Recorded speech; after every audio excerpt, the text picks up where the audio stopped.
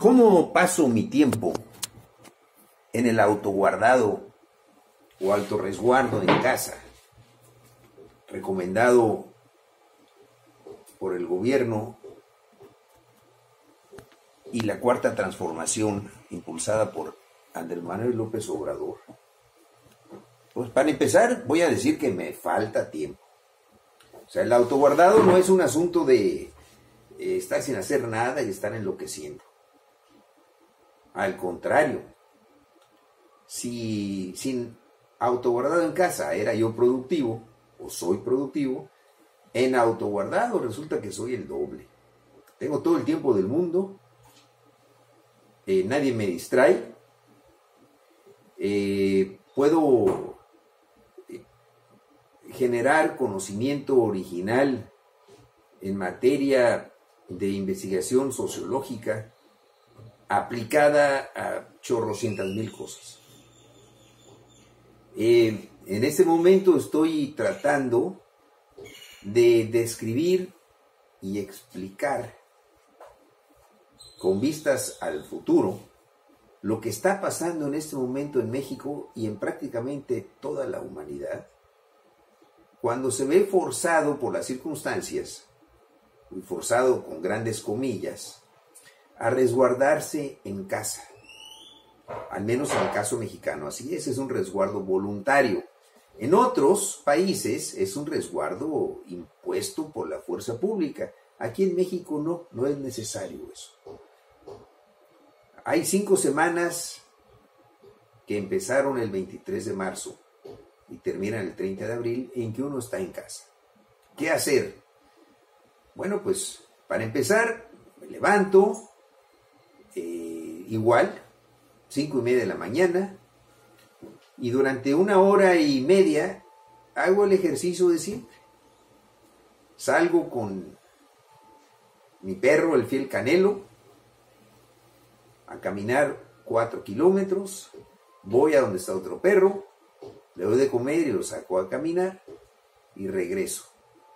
Esto es eh, parte de lo que se puede hacer en el autoguardado, es decir, es un ejercicio mínimo de una hora y media en que eh, guardo todas las precauciones, de, distancia, de Susana, distancia, metro y medio, eh, con respecto a otros seres humanos,